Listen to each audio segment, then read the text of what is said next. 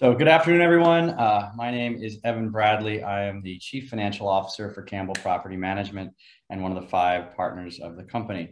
I also work very closely with some of our largest clients on the major issues facing their associations. Uh, for those of you not as familiar with Campbell, we've been in business since 1953 and manage over 400 condo and HOA association clients from Dade to St. Lucie counties. Also with us today, we have Ben Messerschmidt of Epic Forensics and Engineering, and he is a licensed engineer, as well as Michael Kassower of Frank Weinberg and Black, an association law firm. So, Ben, would you like to start, and introduce yourself and the firm a little bit? Sure, absolutely. Thanks for the intro, and thanks for the pretty correct, correct pronunciation of my last name. That doesn't happen too often, so I'll take it when I can get it.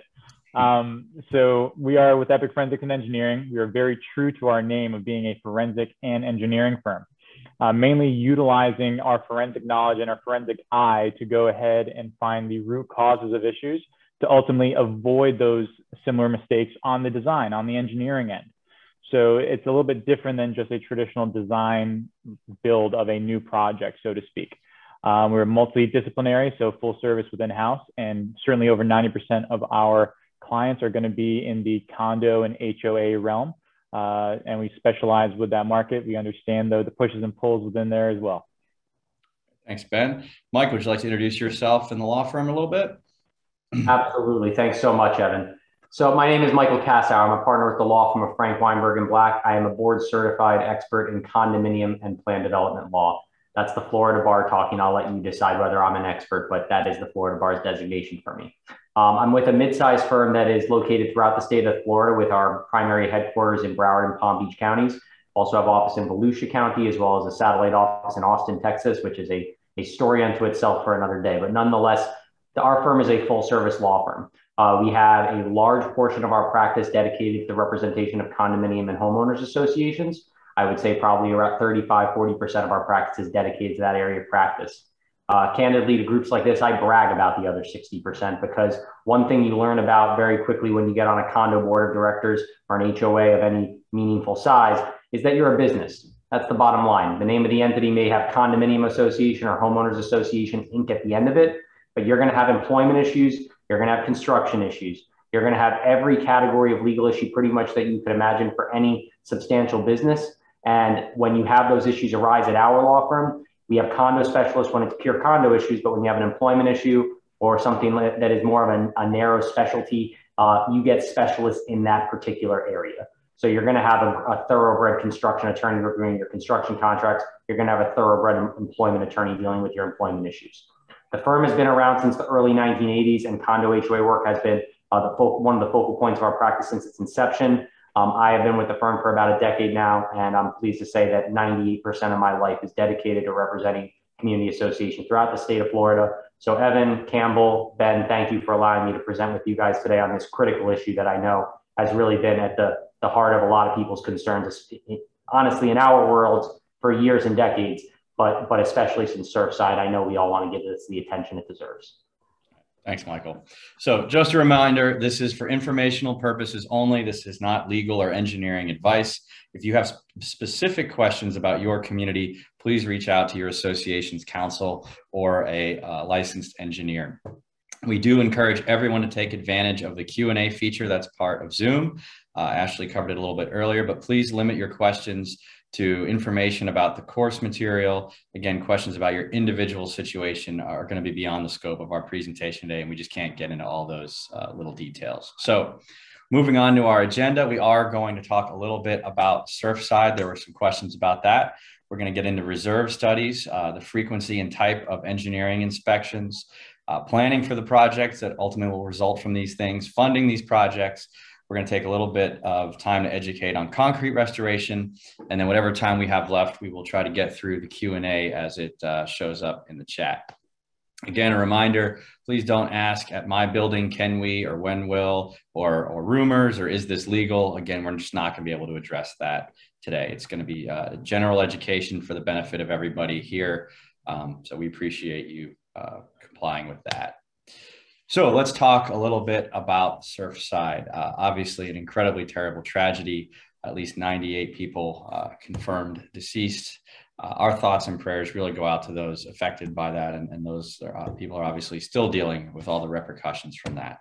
So we just want to acknowledge what how horrible that was. And, and we appreciate that a lot of you are probably here uh, because of that event. So let's kind of get into a little bit about what uh, you know what impact that's had on uh, on the condo and association world. And I, I, can tell you from the management side, um, we've absolutely seen an, an, uptick in people looking into getting engineering studies, people working with engineers that were already engaged, um, taking a much more serious look at uh, at their structural issues. And uh, I think the boards and uh, the management companies all uh, are taking a much more serious look at, at reserves and uh, they're will, much more willing to spend money. At least that's what we're seeing on our side. Uh, Michael, what are you seeing in terms of legislation or discussions at the city county level uh, related to this? So, as far as direct action that we've seen thus far, Evan, I think that the action indisputably is occurring on the city level and the county level thus far. Um, we've seen some municipalities uh, decide to take matters into their own hands. I can tell you that I've seen some action, I believe, uh, predominantly when you get to Palm Beach County in particular. Uh, City of Boca Raton is at the forefront of taking some municipal action. I think City of West Palm Beach has been, has been also moving a little bit to try to get, get some inspection requirements in place. Things that come close to uh, following the path of the Miami and Broward 40-year uh, inspection requirements. It's not verbatim, but it's in that same theory of getting your, your building inspected. Um, on the state level, I can tell you that I am part of the, uh, the real property section of the Florida Bar, which has created a special task force that is currently working with legislators in Tallahassee to try to see if we can get something done with the Condominium Act to maybe establish some sort or elsewhere um, beyond the Condominium Act, candidly, in Florida statutes to potentially uh, address these issues. The, the two big areas that you're seeing, though, are basically inspections and reserves. And these are very, very controversial issues. And I'm not going to forecast the probability of legislation passing on the state level, um, especially when it comes to reserves. You can put yourself into a situation where you are battling against a pretty powerful lobby when it comes to um, real estate developers and builders who generally do have an interest in trying to uh, keep the, the, the, assessments low. And obviously, if you have uh, expensive reserve requirements, that can make it more challenging to keep reserves low. So to answer your question directly, Evan, cities doing things right now. Palm Beach County, I can tell you that they are already putting out some voluntary guidance as recently as last month, saying that they want to see people doing things about every 25 years. And I can ha- I can share that that guidance that went out from the, the, the county um, and the building official with anybody that would like. But they have not passed any sort of county level ordinances yet. But I do hear that is in the works and maybe coming from Palm Beach as well. And one more thing I would like to go ahead and tag on there real fast is that even like the city of Aventura, for example, they've also um, upped their requirements too as of late. So really adding additional qualifications of those individuals involved to go ahead and perform some of these inspections, which I think is what we're going to expect to see with any future legislation that's going to be coming forward. Right. And the city of Aventura actually has a requirement now that any engineering report obtained uh, actually has to be turned into the city. I think it's within 48 hours. So that that actually has passed and, and been implemented. So if you are in the city of Aventura, be be aware of that. Um, Michael, there's some questions about uh, responsibility and exposure for boards. I mean, I think some of those are obvious, but I mean, what, what could you say to boards who are concerned that, that maybe their residents don't want to spend the money or, uh, you know, how would you talk to them in the wake of this tragedy? So there are two things that I'm going to break that out into in broad strokes. There is a what the board should be doing, um, what their duties are under the governing documents as an and as an association which they are in control of. Secondarily, there's a question there about individual liability. I think of individual board members. Um, am I going to be sued as the as the director of Condominium Association Inc. because I didn't do my concrete restoration project? So let me break that out every single association in the state of Florida has a duty to maintain its common elements. Full stop. And the board of directors is the ones that makes the fundamental decisions. They set the policy. They decide on what contracts need to be executed, what, what professionals need to be retained. So that duty exists, and every board member, I believe, is for the most part and should be taking that quite seriously. Um, if they are not complying with that duty, you know that that beautiful structure you see on your screen right now has chips of concrete falling from it I think that the association could be vulnerable to a legal challenge for failing to maintain common elements. That does not necessarily uh, equate, though, to individual liability of a director. Uh, and I know that directors get threatened with lawsuits from, from their people all the time, their community all the time. That's part of putting yourself out into the public sphere to some degree, rightfully or wrongfully. Um, but what I would say is that it's unlikely in most instances this is a matter of individual liability for, for um, directors, although it really is something you need to discuss on a case by case basis because number one, that doesn't even come into play for, for me for the most part if you can genuinely say that the board of directors was relying on the advice of a qualified uh, a professional in the area. A guy like Ben Messerschmidt is somebody like that. And if Ben's giving guidance to the board, I think that that's pretty strong stuff when it comes to whether the association's taking proper action, so long as, of course, they're following his advice. Uh, beyond that, though, individual liability as a general rule, and again, talk to your lawyer on a case by case basis, you're talking about things like fraud, self dealing, unjust enrichment. I don't think there would be, in most instances, that type of scenario at play. So, what I would say is that if it's getting to a point where you can tie it back to an individual benefit for the director, then, then that's more in play. But as a general principle, these are maintenance issues and they should be dealt with through the association rather than lawsuits against individual directors, generally speaking. Thanks, Michael. So, Ben, unfortunately or fortunately, this is Florida, and, and, after hurricanes, we see roofers and other vendors all of a sudden pop up out of nowhere. Uh, are you seeing engineers or consultants coming out of the woodwork that maybe aren't as, as reputable in the, in the wake of Surfside? Unfortunately, yes. Uh, I mean, to put it very, very short, um, I, am not surprised by it. I mean, given given the fact I'm, I'm a true South Floridian, so, uh, I mean, it's also rich in the history of, of South Florida and development down here. Um, and, but one thing that is very important to go ahead and that any board and any association should consider is look at their individual track record. Look at the individuals that will be completing the work. Have they done this before? What licenses do they have? Are they doing it all in house or are they solely having one technician do the evaluation and subbing out a threshold inspector or a third party engineer to sign and seal. I mean, wh- where we currently are now is an environment that does allow that to happen, unfortunately. I don't think that's going to be happening in the near future for a very good reason, but certainly be aware, be mindful. I mean, lean on your property management team 100% to go ahead and be the first level of vetting, so to speak, because they have a high bar to even be a vendor. They need to have certain insurances and thing and insurances, licenses that they have to at a minimum hold. And they also have a working relationship with these professionals. So use that as your first resource. But and but I would definitely be wary of certain prices that may seem too good to be true.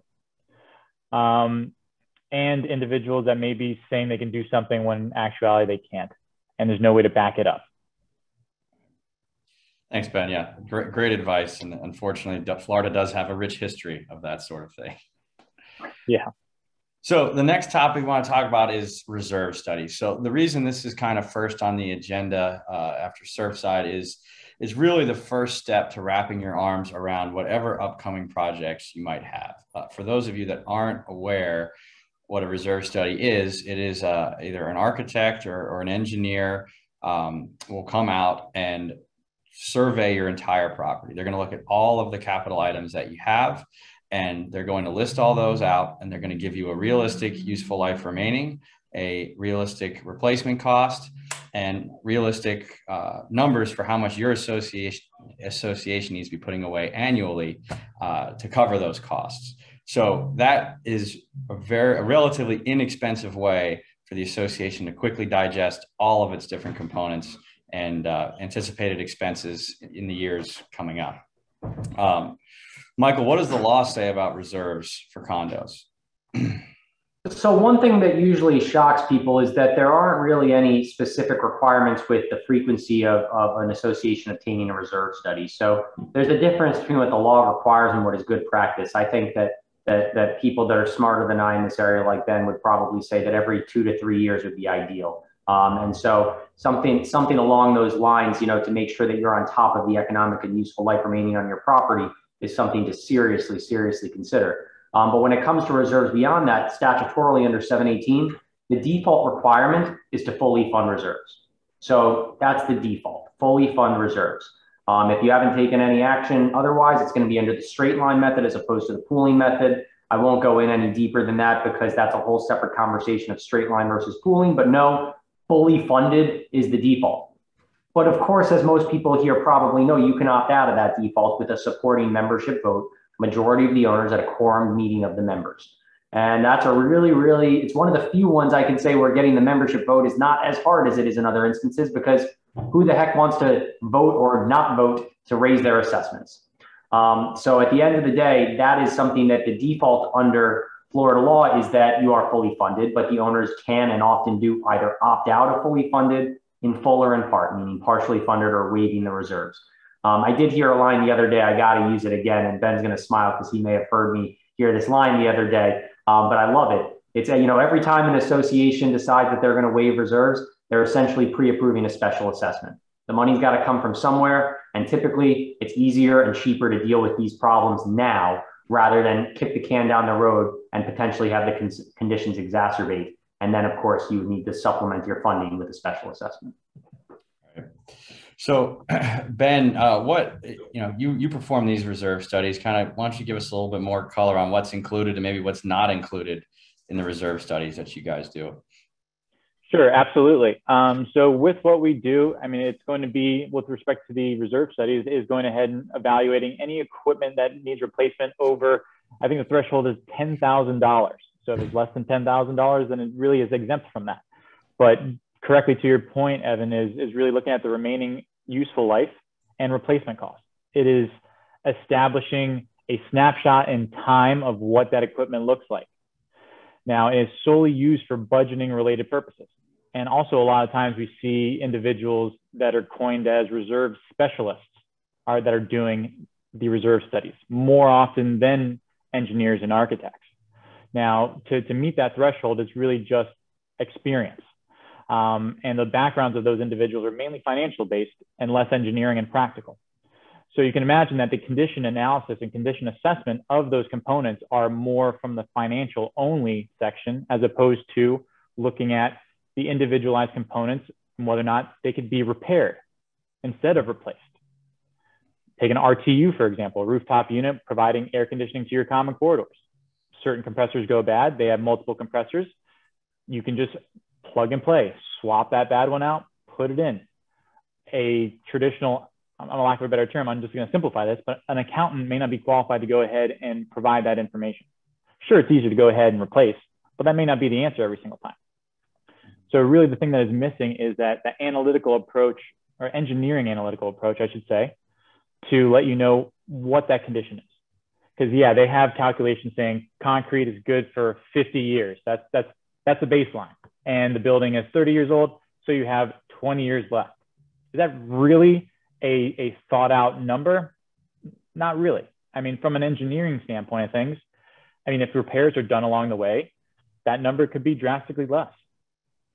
So there's you have a lot more. You can have a comprehensive conversation by having something that's more detailed than just a reserve study. Reserve study should be known for, for what it is, and it absolutely provides value. Do not get me wrong. It certainly sets the baseline for what an association should do. And to echo Michael's point of it's common to, for associations not to go ahead and fully fund for a variety of different reasons. They are not, the, the reasons aren't substantive in the nature of the issues that are on the property. They are substantive with respect to the the demographics, the PR, the inner workings, the network, the people network of these communities. Um, and they are in the driver's seat at this point in time. All right.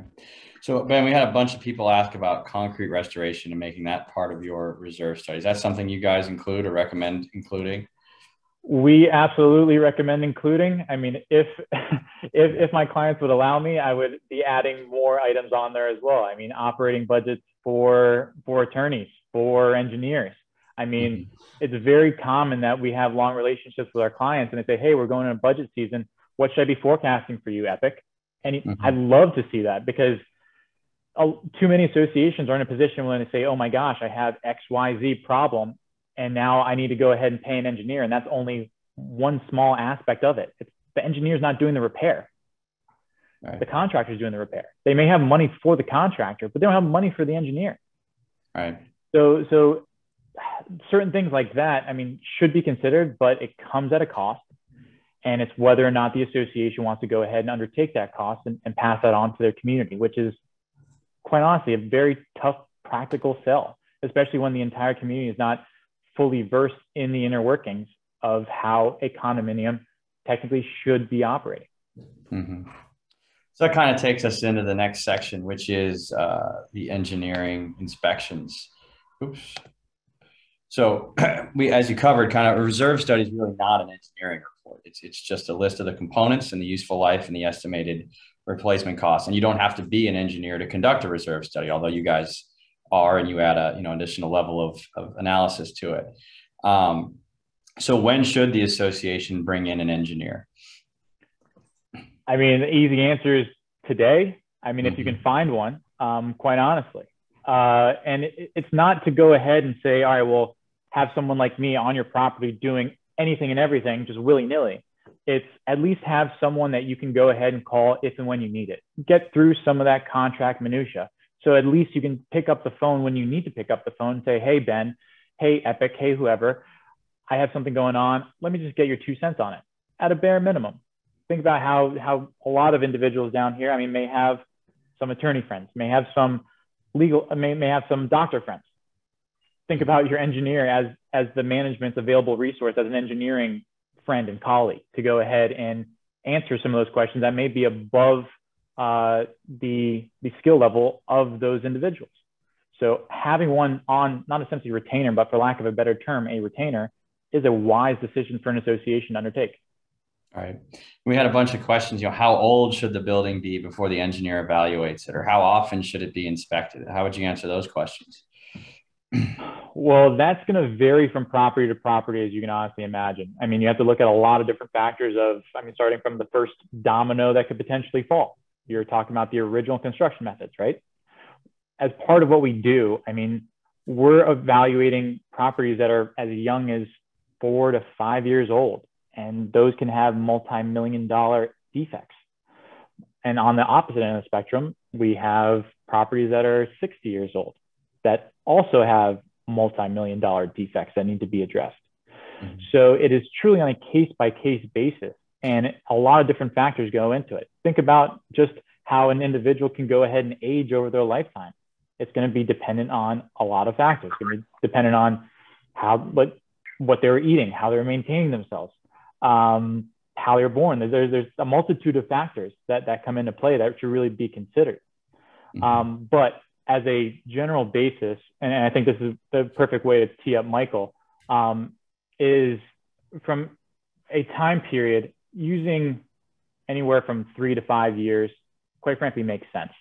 And it doesn't have to be a full blown assessment. You can still do something that's a baseline. So at least you know and you've done your building's physical. That's mm-hmm. going to be valuable knowledge, even just to go ahead and just tuck away and file for the association, provide it to the community if and when they want it. Mm-hmm.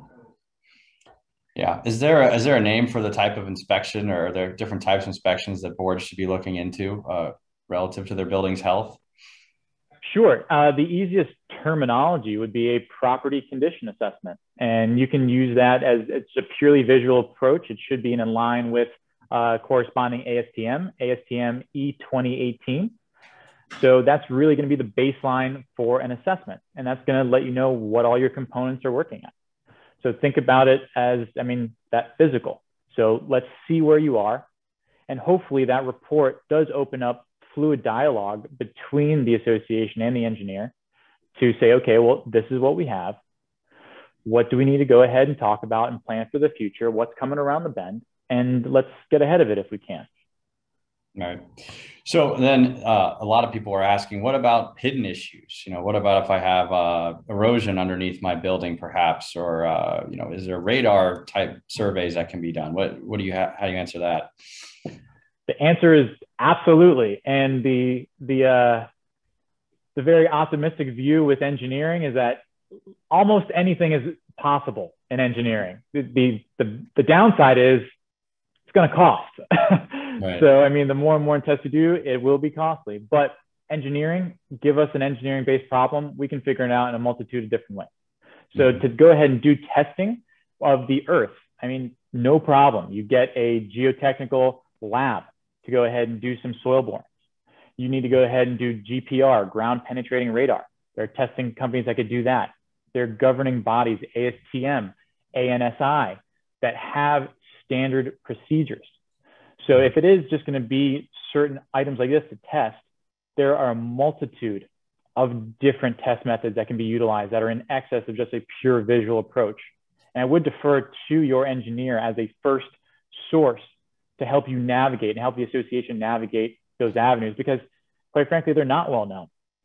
I mean, any any board member from from any association can't just be like, I want to go ahead and do a, a roof survey. I want to, I want to test the moisture underneath it. What sort of test do I need? They may not be qualified to do so, but there's entire manuals that get updated every two or three years of updated protocols, updated procedures that your engineer, if they're specific to focusing on buildings and focusing on communities, can absolutely help you. So uh, I think the inspection most of us in the condo world are familiar with, Michael, is the 40-year inspection. So that is a requirement in Dade and uh, Broward counties right now. Can you tell us a little bit about what's required for 40 year inspections? So Ben is Ben is going to probably be uh, really good at helping you with particulars on this as well. But but in broad brushes, what the 40 year inspection requires is for the association to conduct um, inspe- uh, conduct inspections primarily of their structural components and their electrical components at least once every 40 years and then every 10 years thereafter. Hey, I got it right. Look at that. Um, and then it, it, what, what, what ends up happening is as you draw nearer to that, um, to that 40 year mark and you conduct your inspection, as it says on the screen, with a licensed professional engineer or architect, um, you're hopefully not going to identify any deficiencies whatsoever. Hopefully, you'll find out all good news. Our preventative maintenance program worked. And if you didn't have a preventative maintenance program, and especially if you're located anywhere near the water, you're going to have problems. It's almost a certainty. Um, but that being said, once you identify those problems, you have a period of time to respond and correct those issues. Um, I believe, um, and Ben, correct me if I'm wrong, I sometimes mix them up. It's 150 days in that, I believe, Dade County and 180 in Broward, um, or, and, and that is in order to cure those deficiencies. In reality, I think Ben would tell you it's not uncommon for things to go further than that. Um, it's not good, it's not preferable um, but it does happen from time to time. Um, I think people probably saw since Champlain Towers, there were some some colorful stories out there about neighboring condos that were 45 years old. They never did anything. So people blow, people speed on the highway all the time, but if you want to follow the rules on this one, every 40 years and then every 10 years thereafter, you should be looking into your structural and electrical. And then you have more or less about six months after you identify those deficiencies to, to bring the property into compliance. And even to even to add on that, if if I could, is I mean, one thing that needs to be understood is that this is truly a minimum requirement in every sense of that term. I mean, look at that second to last bullet on the on the page right now. Pose an immediate threat to life safety. That is it. So looking at it from a structural standpoint of things, I'll give you a nice practical example. You have um, a elevated pool and right below it, you have a parking garage, a pool deck as well, right? So you have a column that is going vertically into that slab. And that column looks terrible. You have white staining coming down, which is called efflorescence, indicative of water penetrating. You have cracks, you have spalls. The 40 year research process will tell you how to go ahead and address that column. That's very straightforward as an engineer. You're going to go ahead and do what you need to do to fix that specific column. What it will not do is it will not say, okay, well, that water is coming from the pool or that water is coming from the pool deck. You need to replace the waterproofing within the pool or the pool deck to stop this issue. You see how there's a big difference? Mm. So by having a comprehensive inspection that even goes above and beyond is really going to help you avoid those um, fix this year after year after year after year after a year example. Mm-hmm. Another important thing to point out is uh, I believe Champlain Towers was only 38 or 39 years old. I don't think it had hit its 40 year mark yet. Um, so I wouldn't be surprised at all if we get updated uh, legislation at the county level that reduces this down from 40 years to something closer to 25 or 30. And exactly. And one thing to even say on that further is that even if you're at that 30 year mark or 38 year mark, quite frankly, I think you're too late. I mean, to do a comprehensive review, is going to take time because you're going to start off as a staged approach of a visual first, and there will be issues in all likelihood. And then you do some destructive work, and then you develop plans. Or no, then you meet with the association to figure out what recommendations do want to be moved forward, and then design occurs. Just those four steps alone take time. Budget a year. And then now you want to go out to bid. In today's marketplace, these bids aren't good for longer than 10 days, as ridiculous as that may sound. And to get that bid, it's going to take you at least a month, maybe two. And I mean, please go ahead and, and, try to bid out a job right now. It is tough. It is tough for us. And, and we get it. There's a lot of pushes and pulls in the labor market and the materials market as well. So you have to be able to budget at least a year, if not more, to lack of a better term, get your act together before you actually have a contractor on site. So considering to do your 40 year um, inspection requirements or fixing what is wrong or what may be wrong within that at that milestone, in my opinion, it should be happening give or take at that 35 year mark. Just get yourself ready for it because it also it does cost money. That money's gonna have to come from someplace. Getting those approvals are gonna take time. Getting the professionals involved, like Michael, like Evan, like myself, involved will take time. So, I mean, 38 is too late, in, in my, my practical and honest opinion. Mm-hmm. Yeah, we agree. So now we've identified that we have these projects. Kind of how are we uh, how are we going to plan for it? So I think one of the most important things is involving the professionals like your attorney, like your engineer, like your management company, uh, early and often in the process. Um, you know, Michael, you think you had some some thoughts on this? You've helped associations through some uh, some of these type projects. Absolutely. Thank you, Evan. And, and I'm actually going to take it one step further than, than Ben did before when he said, you know, when should you bring us on? And the answer was today. I agree with that. In fact, I'd even go further and say as far back yesterday as he possibly could. And here's why. Uh, and Ben really said a lot of it, you know, two seconds ago, but I'm, I'm going to, I'm to add a little bit more of a legal uh, spin on it. There is so much that needs to be thought about when you are preparing for a project like this, from the engineering perspective and the legal perspective, to say the least and the management perspective as well, because what ends up happening that I find to be the most fatal flaw that ends up causing the most unnecessary pain in these processes is lack of clarity at the outset and poor communication to the owners, all while you're asking them to spend millions of dollars a lot of the time. So it creates a very hostile environment um, and a lot, a lot of frustration within the community that is really being misdirected because at the end of the day, this is about maintaining a concrete structure. So it's not controversial, it's necessary, and it's something that does cost money. Of course, though, no, no, but everyone always likes to shoot the messenger, so boards end up taking a lot of flack. What I recommend is, like, like you were saying, Evan, bring people like the three of us in on day one. You should bring your management personnel, your engineering personnel, as well as your, your legal counsel all into the fold because there's going to be a whole host of issues that come up along the way. For instance, if you don't have sufficient reserve funds, how are you going to fund the project? There's really just one choice at that point, or two choices rather. There's a special assessment or there's borrowing the money. Oftentimes, for either of those, but especially for borrowing money, there might be a provision in your governing documents that says you can't borrow money from a lender unless the members vote to approve that loan. So think about that. If you can't, if you're not comfortable with a special assessment, the only option if you don't have the money in the bank is to go out and get a loan. And if you're going to do that, but you need a membership vote, that's going to take time. And not just time, but it's going to take coherent communication. And that brings me back to, again, the idea of getting someone like Ben involved on day one. Because what Ben can do is two things. Number one, he's going to help you understand your issues in a way that you can discuss them in a clear way.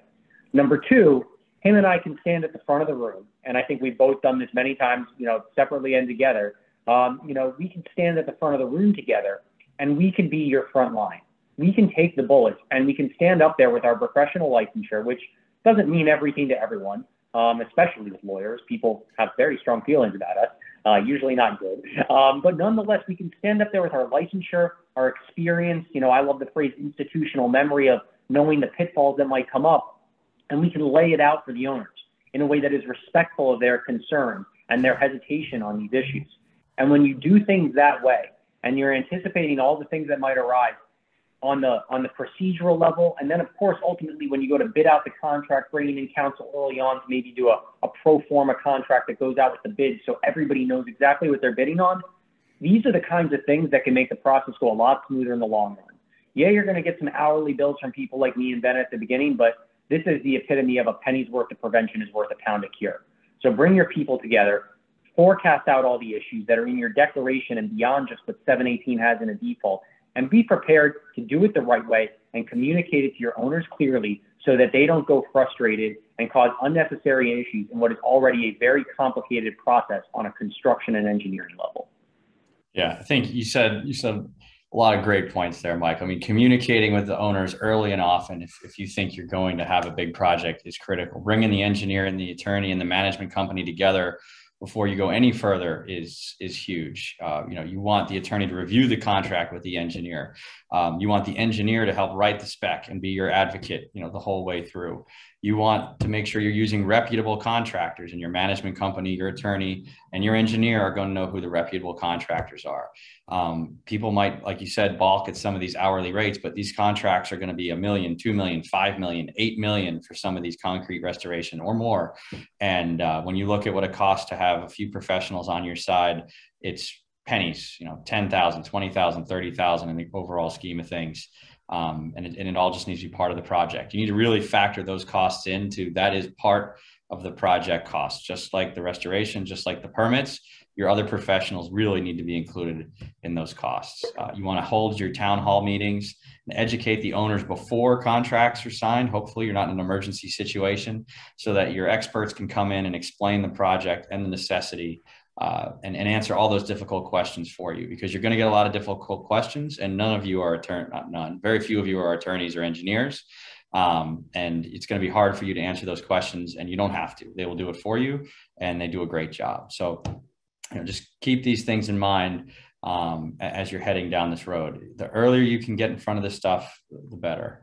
Um, there was a few questions, uh, Ben or Michael, and I, I, don't quite know the answer. What happens if you get into an emergent, if you feel like you have an emergency repair situation uh, relative to your to your condominium building? Can you skip the permitting process, or is there a, an emergency process that you can go through if you think you've identified an issue? Yes, absolutely. I mean, if you have an emergency, you need to fix it right then and there. I mean, it becomes a a ask for forgiveness scenario more than asking for for, for permission. Excuse me. Mm-hmm. I mean, that's plain and simple. I mean, you have to protect life. If I see a, an unsafe condition, I'm telling someone. I'm letting people know. And if mm-hmm. I mean, if nothing happens, I'm letting the I'm letting the jurisdiction know. Mm-hmm. I mean, at a minimum, put up some shoring on on areas of concern.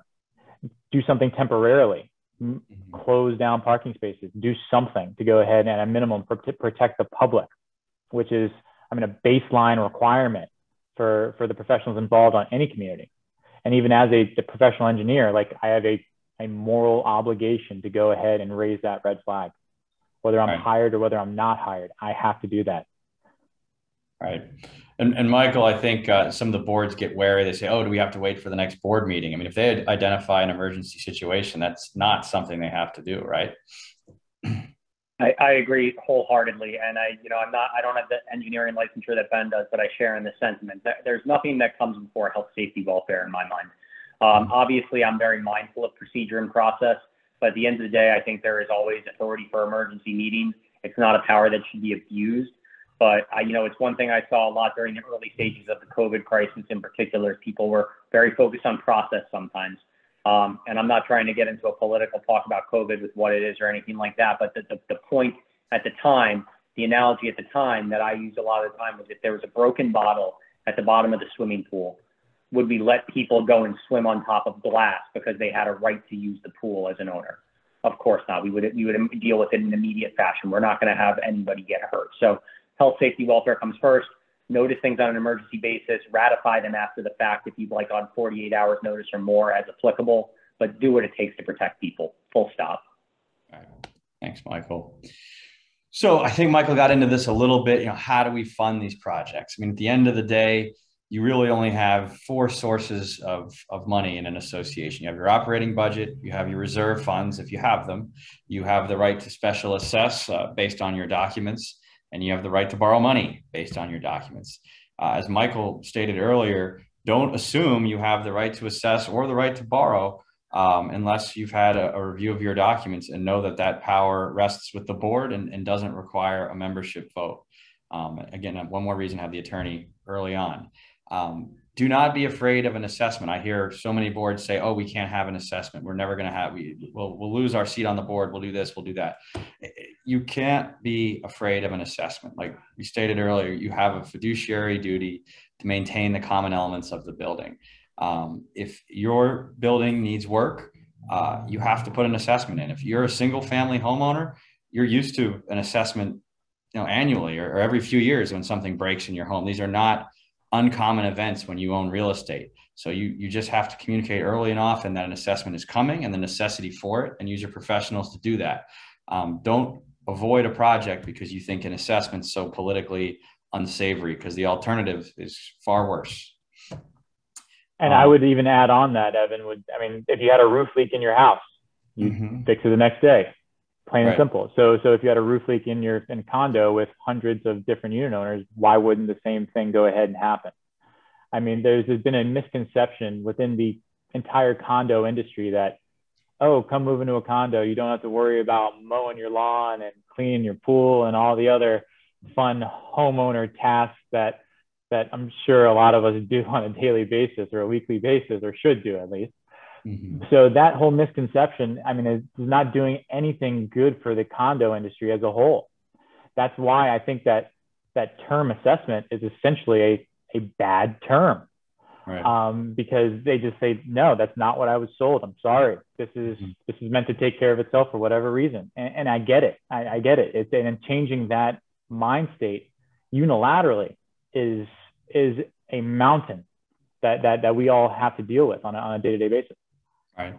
And remember the beauty of uh, living in your condo is you get to split these costs amongst dozens or, or hundreds of other people. If a single family homeowner needs to replace their roof it's whatever 20 30 40 thousand uh, dollars you guys as a condo you split up uh you know the roof it might be 5000 an owner 4000 an owner. I mean it's still a great deal to live in a condo versus uh, you know living in a single family home in a lot of ways. So uh, how you market the assessment is huge. And that's something your management company, engineer, and attorney can help you with because we've done this lots of times at lots of places. We know how to explain these things in a way that people uh, appreciate them rather than uh, throw stones in some cases. So um, there, are, there are bank loans for these type of projects, but those are almost always going to be secured with a special assessment. So it's really not a way around assessing the owners at the end of the day. Um, or you have to build it in your operating budget, and that's going to greatly impact the, the maintenance fees that people pay and your maintenance relative to your neighbors. So don't look at bank loans as some sort of uh, cure all or, or, free money for these projects, but they do exist and they can help lessen the, uh, the burden because you can stretch the payments out over time for owners who may not be able to come up with a five or six or uh, you know, four or five figure uh, special assessment. Um, Michael, we got some questions from people. Do unit owners need to vote on these projects? There's some sentiment that if the project is over 500,000 or over a million, that somehow the unit owners may need to vote on this. How, how does that work? So the answer is as a default under 718, a default, the answer is no. There is no membership voting requirement. But let me expand upon the default. There are dozens, if not more than dozens, maybe even over 100 portions of 718 that say things like, unless the governing documents indicate otherwise to the contrary. Um, there are also things in there that are permissive, meaning that just because the statute addresses the situation doesn't mean that documents can't go further than that or deeper than that or more restrictive than that. So I will tell you that I have seen governing documents on a fairly regular basis that include dollar figure thresholds. If you exceed them, that you should be getting a membership vote. Um, I don't know that that usually would apply to a maintenance situation. It's usually more of a capital improvement kind of situation. Um, but you could have a membership voting requirement for the power of specially assessing, power to borrow money. We talked about that a little while ago. So at the end of the day, by default, typically you don't need a membership vote to implement this project, but your particular governing documents may include provisions that do establish that type of restriction. So again, another reason critical to bring in counsel early on in these types of situations because um, they may help you anticipate some of these voting requirements. So you're not sitting there 39 and a half years hiring Ben, recognizing that, yeah, he can get you a report maybe in a few months, but at the same time, what are you going to do when you get the report? It's going to look great on a shelf and just and just demonstrate that you're not prepared to deal with the situation at hand. So bring the team together early. And and one other thing I just want to spit out, I should have mentioned it on the last slide, but you brought up bank loans. Another reason to address these things early is it's not just about the association getting a loan.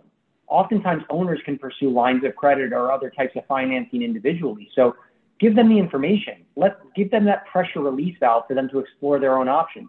Don't make them feel like it's a draconian board of directors coming down on them with the hammer of Thor and saying we're going to foreclose on you if you don't give us fifteen thousand dollars within 30 days. You, there are other ways to do things with a heart, with a mind, and, and with a little bit of forethought. All right.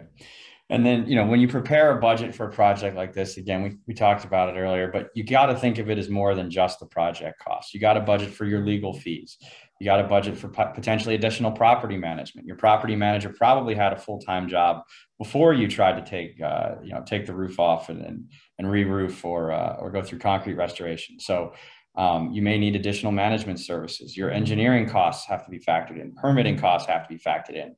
And then there's contingency. I think a lot of people don't appreciate how much uh, contingency you might need in a concrete restoration. So, Ben, can you talk a little bit about about what you see when you get into major concrete restoration work and, and how much extra people should put in their budgets? Absolutely, and I wish that it was a straight line calculation. And when you get into the restoration world, it is up, down, left, and right, and it is solely dependent on how well a building was maintained prior to starting a new project, right? I mean, it's if you brush your teeth once every 40 years, how many teeth would you have at year 40? Not too many.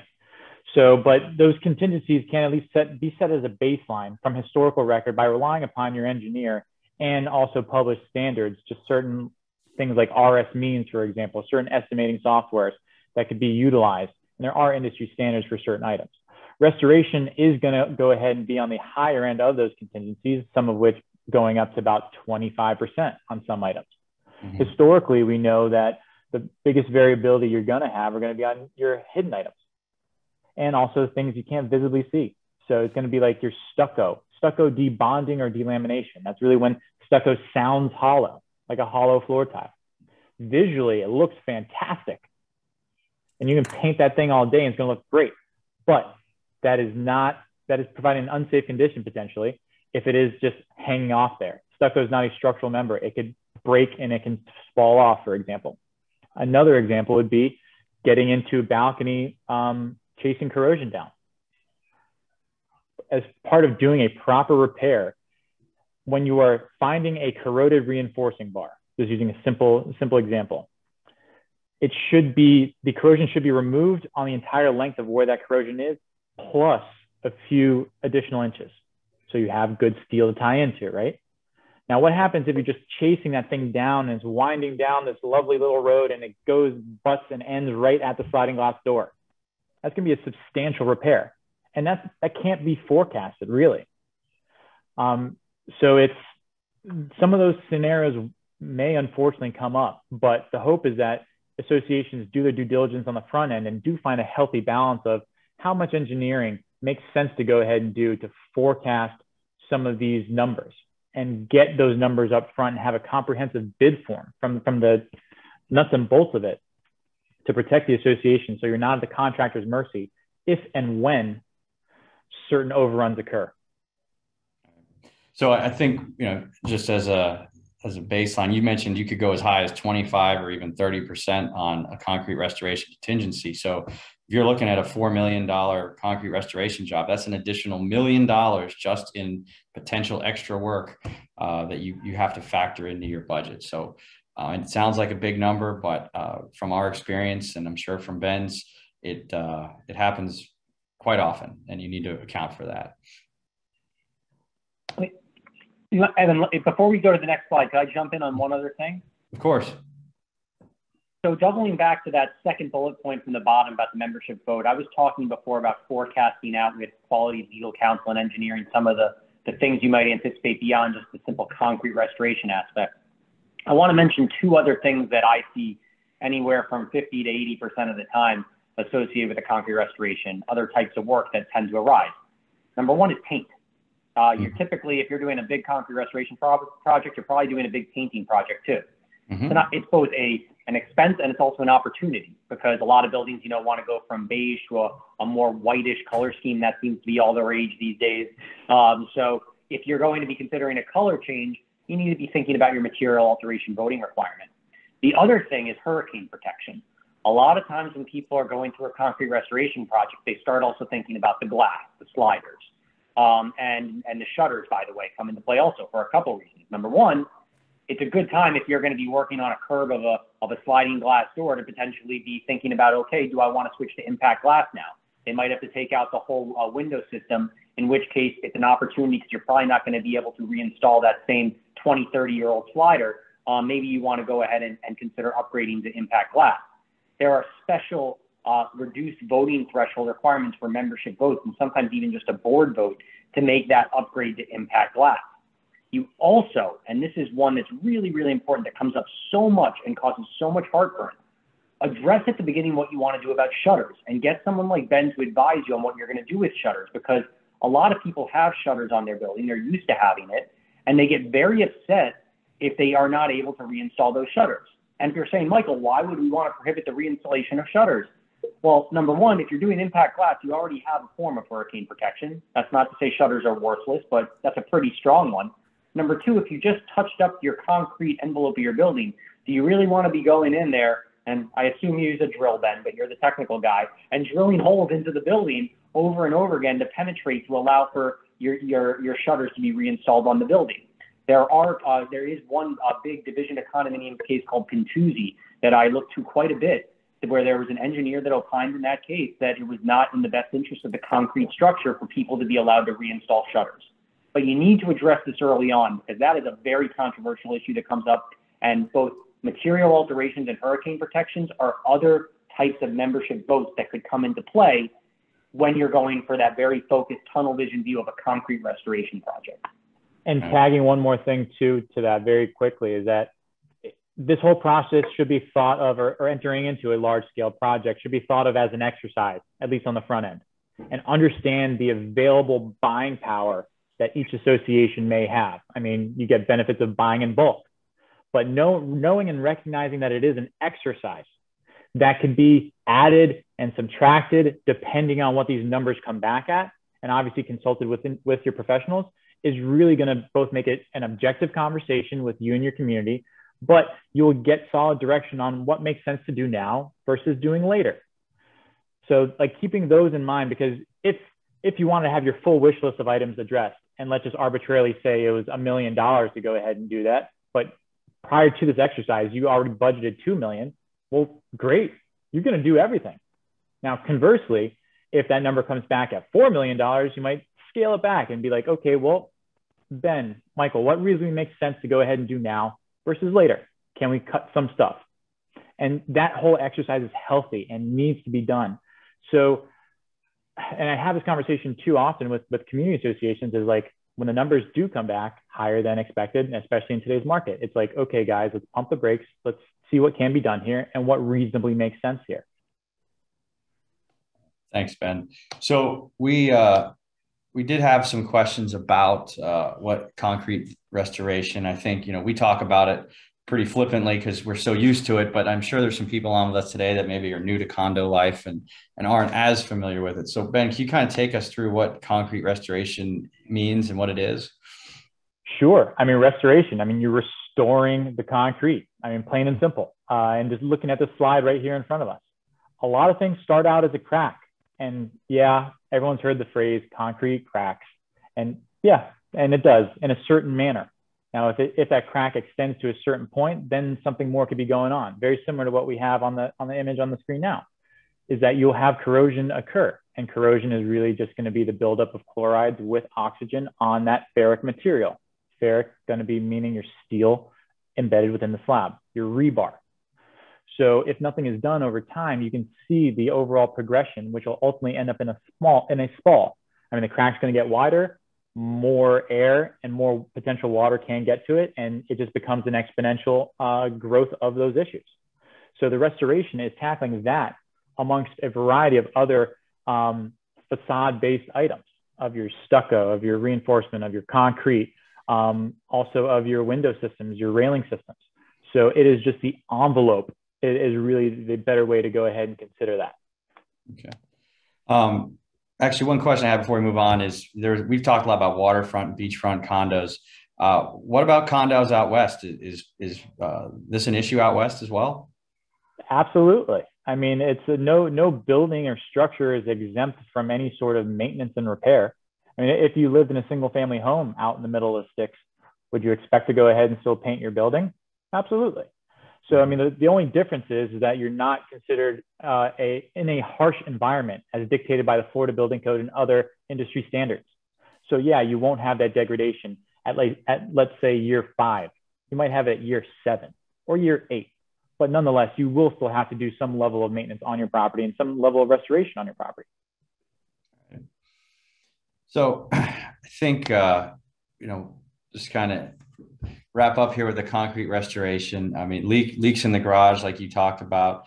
Um, you know, uh, rising salt water, spalling. Um, you know, all, these are all the things that you guys look for ultimately uh, when you come out and, and, and do your visual inspection uh, of a building. So we're kind of right up against the one o'clock mark here, and I think that kind of takes us to the end of our presentation. So um, you know, just to summarize, it's important work with your building engineers, do thorough inspections, identify your risks.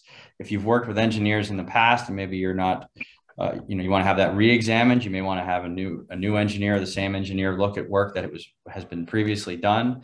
Uh, we strongly encourage you to update your reserve studies if uh, you have them, uh, because building costs have gone up substantially. If you've never had one, we really strongly recommend that you get one because that's the best way to kind of identify what's going to need to be done, when it's going to need to be done, and then you can start to formulate a three or five year plan in terms of both funding and project management. Otherwise, you're really just just flying blind. Um, you got to do your preventative maintenance. That's something your management company should be working with you on. You should have preventative maintenance schedules. Um, you, sh- you should have uh, your people should be accountable for what they're doing daily, weekly, monthly, quarterly. Uh, if that's not happening, you are not extending the useful life of your of your components to their maximum, and they may fail even sooner um, than what the industry might expect. And again, safety is our number one concern. It's mine, it's Ben's, it's Michael's. Uh, we can't stress enough that if you think you have issues in any of these areas, uh, address them as soon as possible. So, um, again, we uh, we do have a blog that uh, we've written articles about 40 year certifications and concrete spalling, and Michael's contributed articles, and uh, we'll, we'll, make sure that Epic does as well. But if you want to get on our blog and, and look some of these things up, it is readfan.org, and you can search uh, search the blog for all the different categories of uh, industry specific articles we've written, and uh, we certainly encourage you to do that. Um, at this point, I think we'll go ahead and open up the Q&A and see if there's some questions here we can answer. Again, we're not going to answer any specific questions, um, but I'll try to moderate here and flip these over to, to Ben or Michael. So first question is, my building's undergoing concrete restoration. Uh, what do I tell my owners about the tile on the balconies needing removal? I guess they may have some some decorative tile or something maybe laid down over the balconies. So Ben, what are your thoughts on tile on balconies? Well, tiles on balconies, I mean, can essentially act like a sponge, if you will, even though they're the tile should be non-porous, but the grout below will be somewhat of porous, and it's going to just slow down the percolation and the movement of water from, let's say, your sliding glass door to the edge of the slab. Should be uniformly sloped out. Now, when you're doing concrete restoration, though, to that that previous example I gave of chasing down the corrosion, you might be chasing it back straight through your travertine straight through your marble, straight through whatever you may have. So um, that is what comes into play. I mean, it's it's a practical issue of just having more moisture there. If you, especially if you don't have any waterproofing on that structural level on that slab, but when you're doing the repairs, it will get damaged. Um, so we see certain associations either either remove it entirely, or at a minimum remove uh, that I guess that four foot edge, so to speak, if you just go ahead and run that against the perimeter, because you have your railing post that comes in there, you have the edge of the balcony, which you're going to be fixing on multiple multiple times throughout the building's lifespan. So you don't have to worry about those ancillary charges basically for putting in the new tile. um, we have to understand, and I'm sure Michael's going to go ahead and chime in, is that I mean, these balconies are a limited common element. So the association does have the right, and Michael, I'm putting on an attorney hat here, so so hold me accountable here. Is I mean, the, the association has a right to go ahead and maintain their property, and if that means that your tile has to go with it, tough luck. Yep, and that's another. Thank you, Ben, for that. That that's another big issue to to bring in competent counsel early on to identify because there's a couple things I'd like to say about it. Another provision that you should be looking for in your governing documents is whether or not you have something called an incidental damage provision.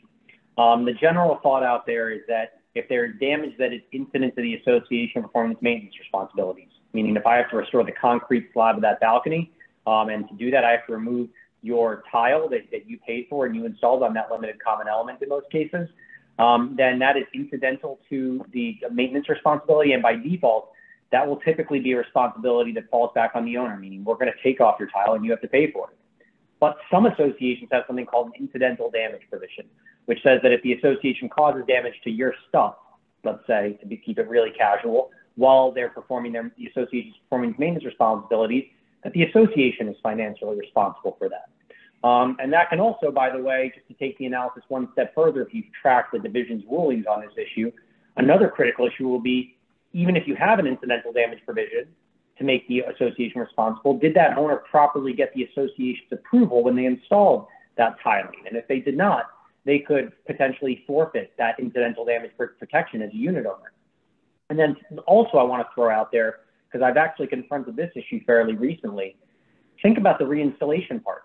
You know, you get Ben to come out there and, and get, get a supervise a contractor to do a fresh coat of waterproofing on your balcony and then the owner doesn't install anything on top of it. I mean, again, this is me now getting out of my wheelhouse, but Ben, what happens if that owner waits a year before they reinstall uh, uh, some some balcony flooring on top of the fresh waterproofing? Is that waterproofing still going to be in good shape at the end of the year? It all depends on what was specified. And, and again, I mean, one thing I do often say is, I mean, type of waterproofing that you have does not sell more units, and unfortunately does not bring elevated value, at least in today's market. So typically the most economical approach is taken. So, and some of those even have, they'll break down within just UV rays. They need to be covered. So it, it's really very dependent material to material on what you utilize there. All right. So, so my, and it's about who's responsible when it comes off, but then also thinking about process and giving people notice so they can pick their tile and get it reinstalled on top sooner rather than later so that you don't deteriorate that work you just paid good money for. Right. And again, all this comes back to communication. If you're not, you know, the management company, manager should be helping communicate all this with your owners um, so that, you know, these things can be coordinated and, and, and done properly.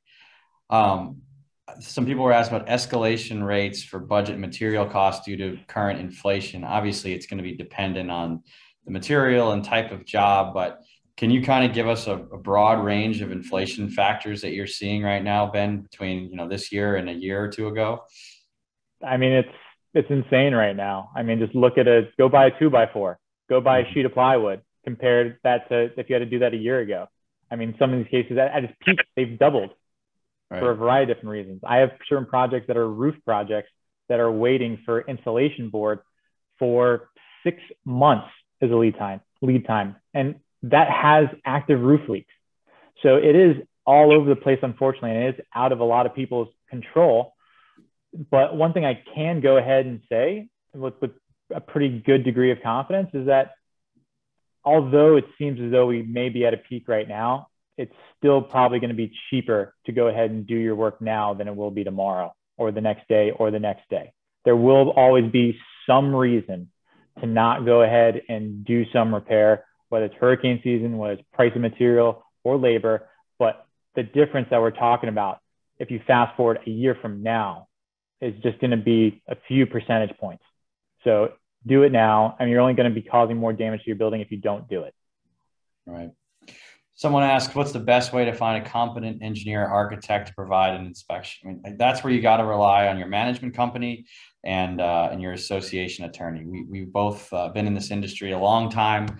We're very familiar with who the reputable vendors are and and who they're not, and, and who just showed up yesterday and um, you, you, know you really want to get professional recommendations in those areas because of the the size, scope, and scale of these projects. Michael, any thoughts on that? Just that it's more of an issue now than ever, because um, obviously there is a high demand right now for structural engineers here in, in the state of Florida. Um, I think that I probably sent out as many engineering list recommendations to my clients in the month after Surfside as I probably did in, in the several years before that. Um, it just it, it, it, was an absolute tidal wave of requests because people are concerned. So you're going to have a lot of fly-by-night people that are coming here to capitalize on the opportunity. That's why it's good to have somebody like Campbell that can help you see here's you know the big players that you can trust um, and do it again sooner rather than later. They're slammed right now, and you want one of the good guys when you undertake a process like this. So start ASAP if you want to line them up um, and get somebody that you'll really be comfortable with within the time frames that you need to implement your work. All right. Someone asked, Michael, could you state again the name of that case that was related to uh, the shutters? Uh, it's, it's my favorite case because it actually flies in the face of the blog articles that are published by many of my colleagues in the condominium law world. It's called Pintuzzi. Uh, I think it's spelled P-I-N-T-U-Z-Z-I, and whoever that is out there in condo land, feel free to email me. I think that Ashley will be circulating contact information, and I'd be happy to provide you a copy of the case directly from Westlaw, which is our database that we use for pulling these types of things. So I uh, think the rest of these questions are, are, very much related to people's individual circumstances. So I don't think we're going to get into those. Um, but so we, we, ran a little over time, but at this point, I'd just like to say thank you everybody for joining us today. Uh, I hope you enjoyed our presentation. I hope you learned a thing or two. Uh, the contact information for everybody on this webinar is up here. Uh, so please feel free to email whichever of us you feel could most likely solve your problem. If you need management services, don't hesitate to reach out. Um, ben, obviously, uh, extremely uh, thorough, knowledgeable in the area of engineering, and I know their firm is taking on more work. And uh, we've worked from, with Michael for many years, and he's been a huge advocate for the uh, associations that we work with him on. So, any parting words, gentlemen? Thank you very much for the opportunity. I really appreciate this. Thanks, Ben. Yeah, th thanks for putting it together, Evan. This was, I think, actually super valuable for people out there. I hope everyone that's attending found it to be that way. I thought it was particularly informative and mostly for the things that you two said. I was, eh, but we'll take it. we appreciate your time, Michael. Thanks again, everybody, and uh, have a wonderful uh, rest of your Thursday.